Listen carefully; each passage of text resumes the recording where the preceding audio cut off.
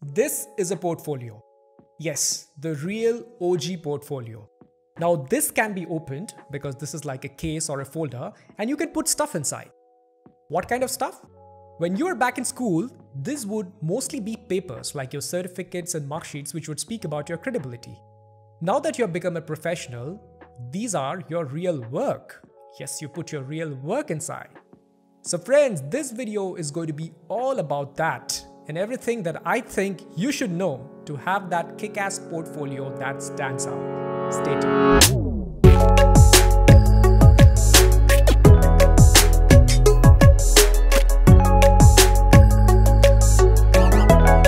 Hey you awesome people, welcome to my channel. This is Sapta and if you are here for the first time, this is the place where I help designers build and scale their career with tips, suggestions and tutorials. So if you're into it, don't forget to hit the subscribe button.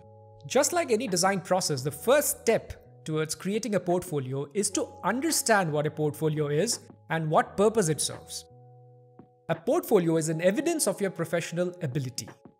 It is that concrete proof which should make even a stranger believe into how good you are at your work.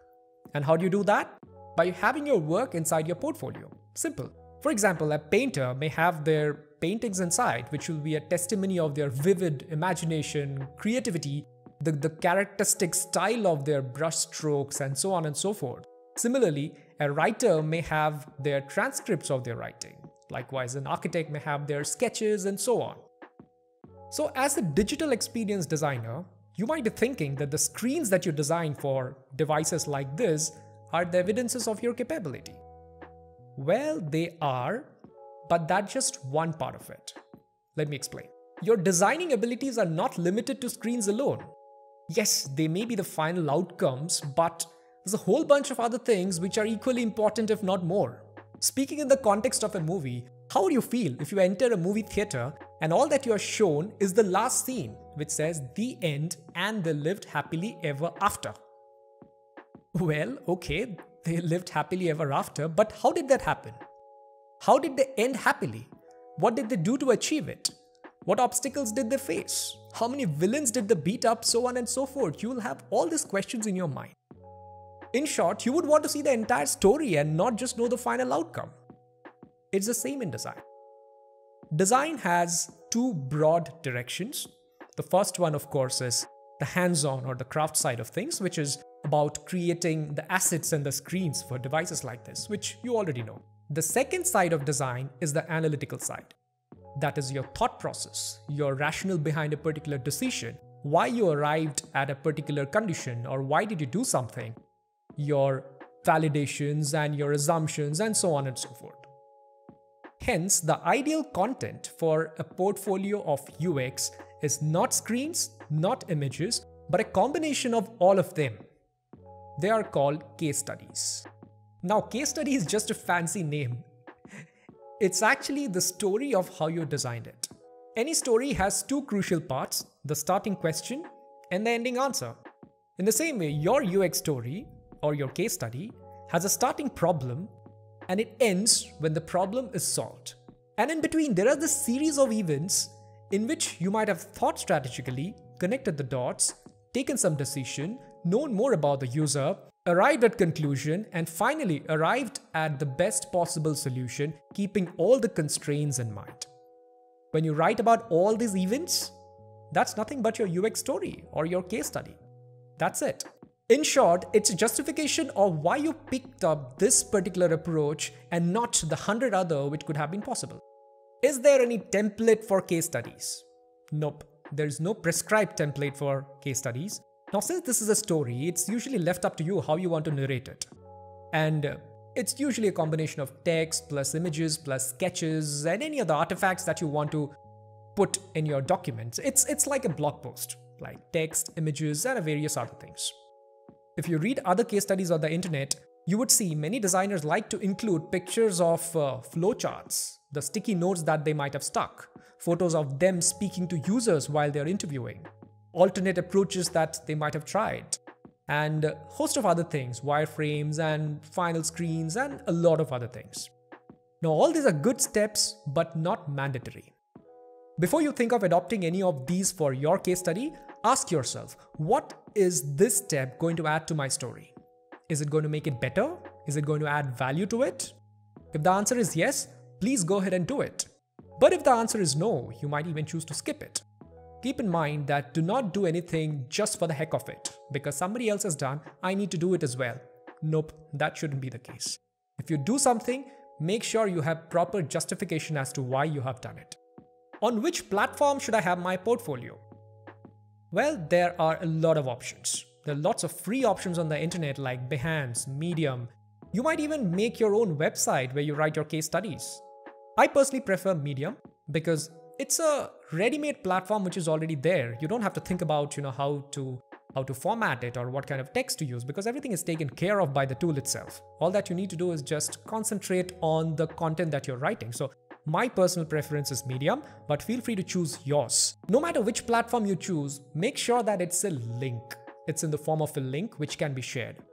PDFs aren't the best idea. I know many designers have their portfolios on PDFs, but come on, this is 2020 and sharing a link is much easier than sharing an attachment, right? Yeah, but that's just a personal preference. Now with links, it becomes very easy to share your portfolio with other people. Which means while your portfolio is being reviewed by a reviewer, it's highly possible that you are not seated right in front of them. Because you might have dropped the portfolio over an email or something, and the recruiter or the, the designer would probably look at it at their own convenience when they are free or something. Now that changes a few things, which requires you to take a few extra steps. I like to call it the UX of your UX portfolio. First and foremost, set the context of your case study in the most concise way possible. Clearly call out the problem that you're solving, who are the people who are facing this problem, and what makes you feel that this problem needs to be solved. Since you're not seated in front of the reviewer for instant clarifications and justification, make sure that your case study is self-explanatory. At any point of time, it shouldn't feel confusing or out of context. Also, think about the user of your portfolio. Who's the user? It's the recruiter or a designer from the company who's reviewing your portfolio. Now, what kind of people are they? They must be busy, right? They must be receiving such portfolios, a lot of them on a daily basis. Do they have all the time to read each and every word that you write? Maybe not. So make it easy for them, they'll thank you for that. You may follow the newspaper approach. Now, if you read each and every word in a newspaper, obviously you will know everything that is happening around you. But even if you do not read every word, but just scan through the headlines, the bullet points, the highlighted text, the images, tables, and so on, you will still have a fair idea of what's happening around you. Maybe your case study should be written in that way. If someone reads the whole thing, well and good. Even if they do not read the whole thing, they still have a good idea about what you have done. Now you might be thinking you are a beginner and you do not have real projects to show. Then what do you do? You can always have mock projects. Pick up any problem that you feel the world is facing and work towards it with the same dedication as you would had it been a real project. Remember, the project can be mock, but your work is always real. It's totally fine. Some of you might even be thinking, hey, I have way too many projects that I've done as a part of my coursework. Which one should I put and which one should I not? Pick up two to three detailed ones that you are most proud of. You can keep the remaining aside. And if you're into multiple disciplines, say you're into UX, also into illustration and branding, make sure you keep them separate. You can have one portfolio for your UX related case studies, two or three of them, and then you can have a separate portfolio for your illustrations or branding or something. And in case you want to show off those extra skills into your UX portfolio, you can subtly do that as well. You can subtly drop a side note saying that, hey, you see that logo out there? That's not a stock image. I made it. But don't bother explaining the branding process and all because that's not needed for a UX case study. Now that you know the fundamentals of how a UX portfolio should be, get going, get started. Give your best and nail it. And if you want to get it reviewed, you can always get on a call with me. The link is calendly.com slash saptarshipr. I will leave the link in the description. 30 minute slots where you can get on a call with me, where you can take me through your portfolio and I can give you feedback based on what I think. I hope you learned something new from this one. See you guys in the next one.